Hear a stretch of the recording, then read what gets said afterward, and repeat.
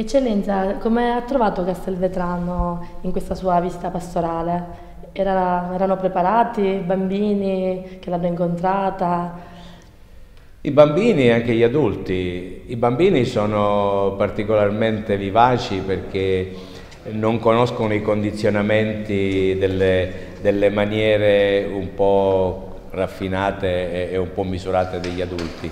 ma anche gli adulti hanno avuto la possibilità di conoscermi in momenti di maggiore spontaneità, per cui eh, ci siamo trovati tutti bene e in tanti hanno manifestato la loro soddisfazione di poter avere un contatto con me fuori dalle ufficialità, soprattutto liturgiche, che sono quelle che magari ci impongono comportamenti e atteggiamenti un po' più, un po' più fermi, un po' più solenni, un po' più distaccati. È stata una bella esperienza con delle sorprese molto positive da parte mia nel vedere anche la vitalità delle comunità parrocchiali e il loro impegno soprattutto nel servizio degli ultimi e dei poveri.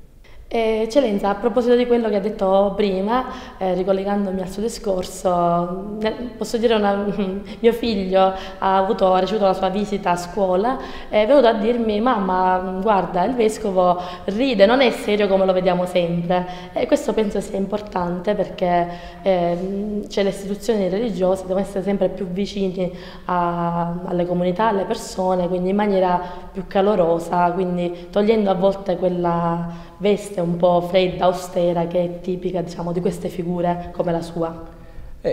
esattamente quello che voglio ottenere anche con questa visita, mostrare il mio volto completo di persona che cerca il dialogo e cerca l'incontro nelle forme più spontanee e naturali che sono proprie della nostra, della nostra umanità. Certamente la liturgia come momento di culto a Dio ci impone dei comportamenti che siano all'altezza proprio della lode e della gloria che diamo. Quando poi ci incontriamo nella informalità o nel rapporto umanamente più spontaneo e cordiale, allora lì possiamo concederci tutto quello che il nostro temperamento ci offre. E vedo che i bambini, i ragazzi tutto questo lo percepiscono e lo colgono e i sorrisi a 32 denti con cui rispondono alle mie risate ne sono la risposta più efficace.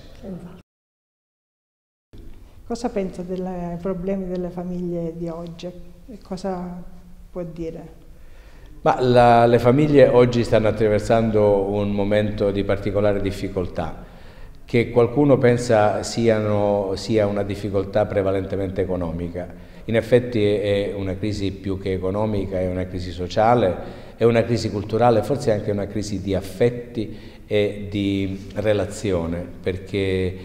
eh, siamo tentati più anche all'interno delle nostre famiglie di pensare ciascuno a se stesso e di non occuparsi o preoccuparsi troppo degli altri. Credo che la famiglia abbia ancora una missione da attuare in questo nostro tempo, soprattutto riscoprendo il calore di relazioni vere e autentiche tra coniugi, tra genitori e figli, tra figli tra loro, aprendo anche le nostre famiglie, le nostre case, almeno idealmente, a tutto quello che può essere ciò che si sente e le sofferenze, i silenzi, le difficoltà che oggi tutti sperimentano sapere di poter contare sull'altro che ti capisce ed eventualmente può ascoltarti o può darti un consiglio, una parola di consolazione, sarebbe una cosa grande anche per questo nostro tempo.